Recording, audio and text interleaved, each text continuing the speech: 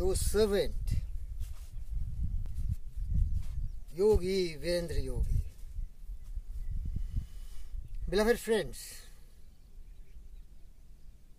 if you want happiness, joy, and live a life which can contribute significantly to the world, you have to really meditate, contemplate, and try to understand what is truth.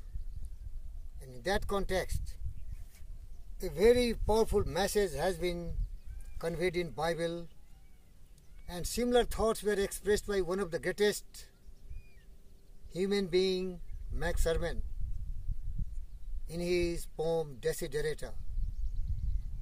That has equivalence of the way of life taught by Ishmael Rudyard Kipling. Here, I have made several versions on these two poems. Here I want to share with you the noble thoughts, the ideas of Max Ehrmann, the desired things to be followed in life.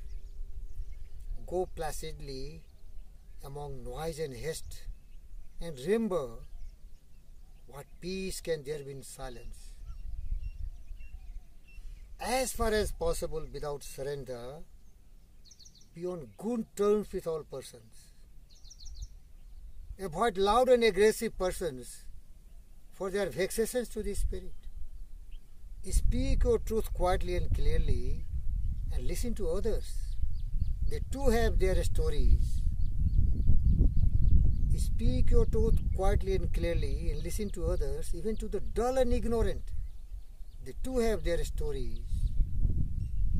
If you compare yourself with others, you may get vain or bitter, always there will be greater and lesser persons than yourself.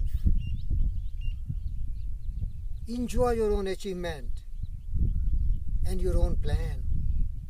Keep interested in your own career. However humble, it is real possessions in the changing fortune of time.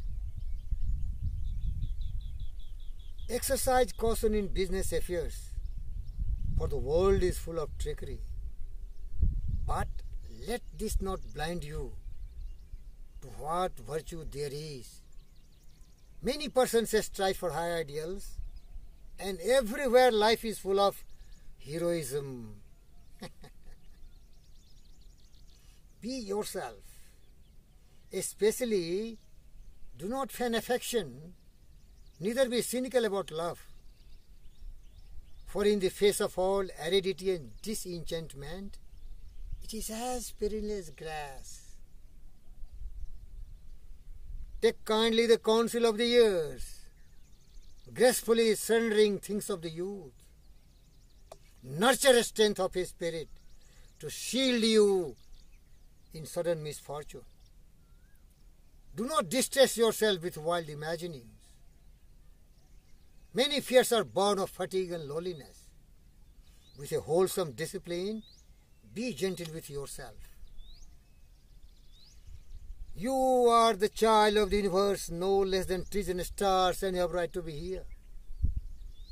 You are a child of the universe, no less than trees and stars, and you have a right to be here. And whether or not it is clear to you, the universe, no doubt, is unfolding as it should. Therefore, be at peace with God, whatever you consider Him to be.